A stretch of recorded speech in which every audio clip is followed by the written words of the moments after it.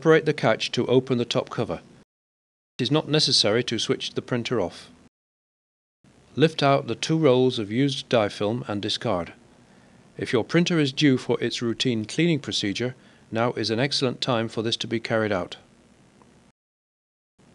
With a pair of scissors, open the new pack of dye film and remove the contents. There are several types of dye film in use, so it is worth checking that it is the correct type.